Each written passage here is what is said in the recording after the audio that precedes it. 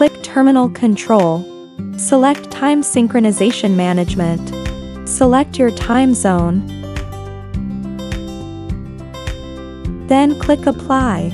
Here you can choose to automatically synchronize the time to the server. Here you can set the synchronous playing.